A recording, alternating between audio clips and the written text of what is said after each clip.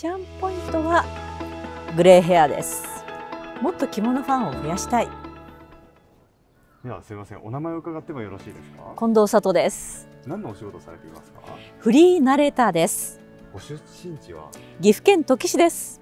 上京を決意したきっかけは何でしょうか？東京に憧れてました。ご自身の性格を一言で表すと？いい加減。チャームポイントは？チャンポイントはグレーヘアです。ご趣味は？ビーチコーミング。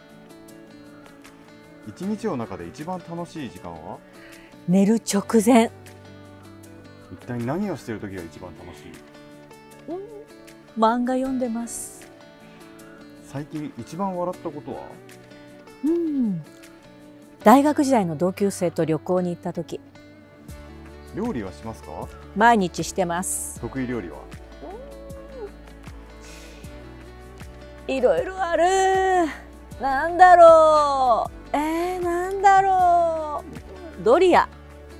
お酒は飲まれますか？好飲めません。きな言葉は？うん。えー、言葉？うん。そう言われるとね自分の花誠の花。お気に入りの映画はありますか？ああふっと今思い出した映画「赤穂浪士。天の巻地の巻」です。好きな映画のジャンルは？映画のジャンルは日本映画海外映画アニメ何でも大好きです人生を変えた一冊は？宇野幸一郎のクジラ髪ファッションのこだわりは？トラディショナルをちょっと外す。初めて買ったブランドアイテムは？ルイ・ヴィトンです。バッグ。では初めて買った着物。初めて買った着物は、えー石川県の牛首紬です大切にしている宝物はありますか？父が彫った小さなこけし、オフの日の過ごし方は？うん、海に行けます。普段取り入れているリラックス方法はありますか？うん。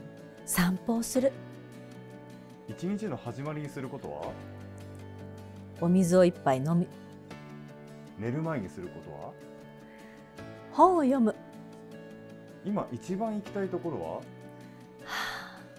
青い海。これまでに海外は何カ国ぐらい行きまし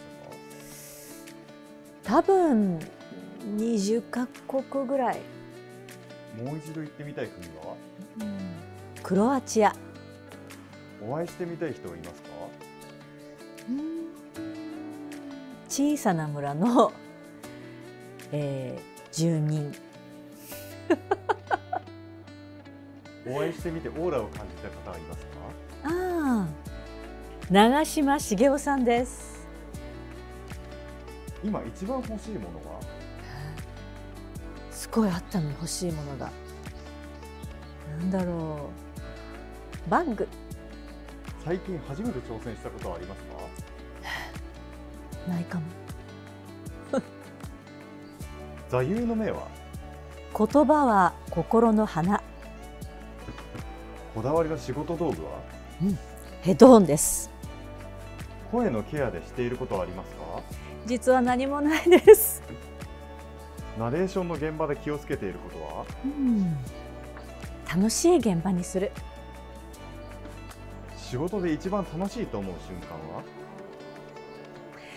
映像に自分の声がうまく乗った時声以外のお仕事を選んでいたとしたら、うん。何のお仕事をしていたとう思いますん。農業？か尊敬する人物は？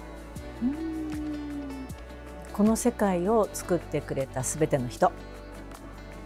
人生で一番勇気を出したことは？まだないかも。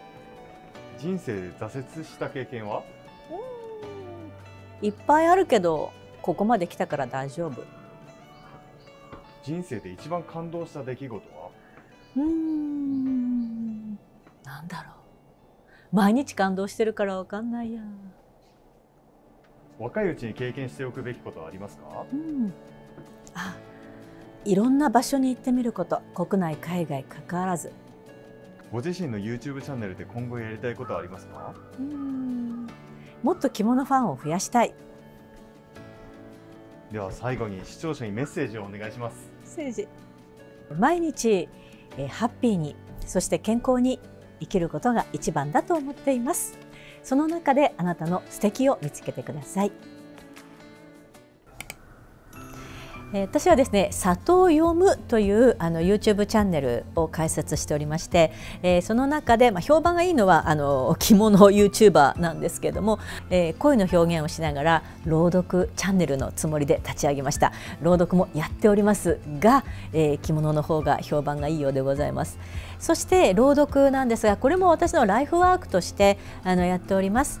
6月30日7月1日に、えー VA、VA、VA と書いてバーバーバと言いますけれどもあのフジテレビのアナウンサーの先輩である山村美智さんと河野恵子さんそして私の3人で、まあ、トリオでしょうかね。あの朗読会を催します。えーとにかく明るく楽しく前向きに人生を歩んでいこう。でも人生って明るいばっかりじゃないよね。辛いよね。でも辛いところから立ち上がっていく。辛いものを忘れていく。それも人間で人生って面白いよね。っていうようなことをテーマでですね。あの面白いものをあの舞台にかけていますので。これもご興味がありましたらチェックしていただけると嬉しいです。こんにちは。近藤里です。YouTube 着物バラエティチャンネル里読む着物に関することを時に面白く時に真面目にあらゆる角度からお届け。着物好きはもちろんそうでない方も一度ご覧ください。